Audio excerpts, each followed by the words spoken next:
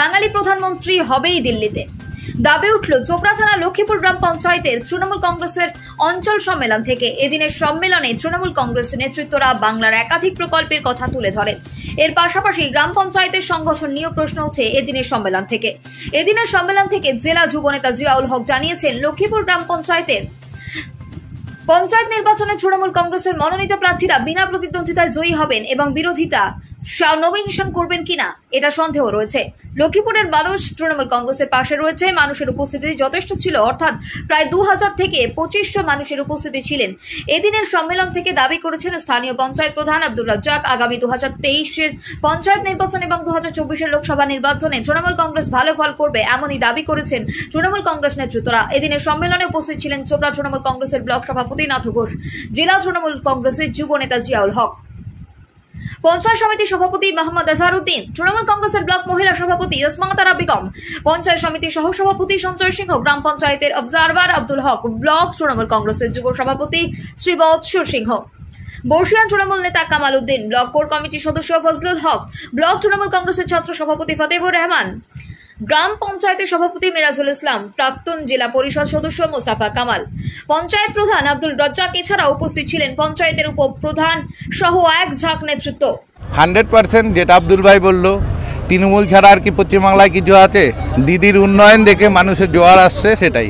আজকে এখানটা আপনারা যেরকম প্রশ্ন করছেন লোক কম। লোক পাশে পাশে দুটো বিয়ে আছে সেই বিয়ে বাড়ির ব্যস্ততার জন্য আজকে একটু লোক কম। তবে কি লক্ষ্মীপুর গ্রাম পঞ্চায়েতের দুর্বলতা রয়েছে কি না না না না সেরকম কোনো দুর্বলতা নেই। কমিটি শান্তি আগে লক্ষ্মীপুরের নেতারা ঢুকতে ভয়- ভয় পেত। আজকে সেখানে শান্তির মিটিং একটা এত বড় সুন্দর প্রোগ্রাম হয়ে গেল আপনারা তো বুঝতে সংগঠন আমাদের খুব ভালো আছে।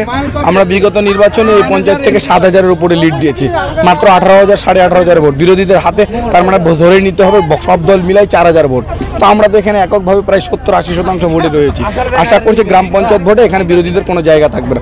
নমিনেশন করবে কিনা তাও সন্দেহ। শুধু তৃণমূল কংগ্রেস থাকবে অন্য কেউ থাকবে অন্যান্য এখানে আমরা এদের ডেলিগেট করা হয়েছে শুধু কর্মীদেরকে ডাকানো হয়েছে। আর যেটা আমার ব্লক সভাপতি বলল পার্শ্ববর্তী এলাকায় দু দুটো বিয়ে রয়েছে। সবচেয়ে বড় কথা মানুষ আছে। আপনারা এখানে হয়তো দেখেছেন খাওয়া দাওয়ার যেখানে প্রোগ্রাম হচ্ছে একবার ওখানকার চিত্রটা মিডিয়াতে করে আপনাদের মোবাইলে করে বা মিডিয়ায় করে একবার দেখানোর চেষ্টা করবেন, তাহলেই বুঝবেন যে লোক কত হয়েছে, কত দেখুন, আমরা যতটা আশাবাদী ছিলাম, সেইভাবে লোকজন হয়তো আমরা উপস্থিত করতে পারিনি। যা হয়েছে, যথেষ্ট হয়েছে এখানে পার্শ্ববর্তী আজকে আমাদের এখানে চার চারটা বিয়ে, আমাদের কর্মীর বাড়িতে। খুদ আমাদের লক্ষ্মীপুর অঞ্চলের যিনি মহিলা সভাপতি ওনার বাড়িতেই বিয়ে।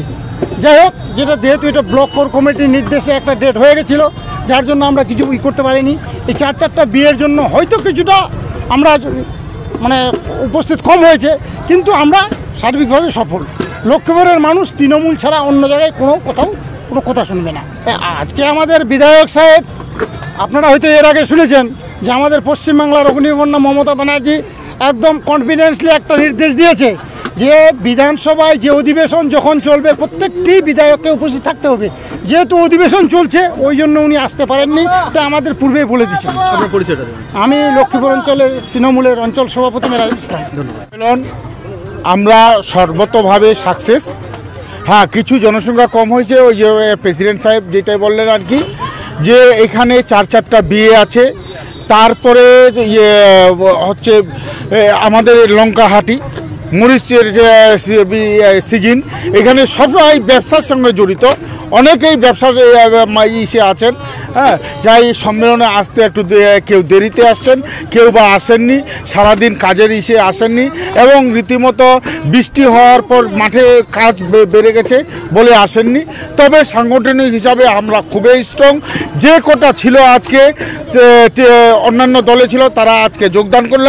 এখন বিরোধী শূন্য পঞ্চায়েত বলতে পারেন, লক্ষ্মীপুর পঞ্চায়েতটাকে। হ্যাঁ তেইশে নির্বাচনের প্রস্তুতি প্রস্তুতি বলতে কিছু নাই এখানে কোনো নির্বাচন হবে বিরোধী দলের কোনো যেহেতু অস্তিত্ব নাই এখানে শুধু সিলেকশন হবে ইলেকশন হবে না। একদম পরিষ্কার। আপনার পরিচয়টা আমি প্রাক্তন জেলা পরিষদের সদস্য এবং ব্লক কোর কমিটির সদস্য।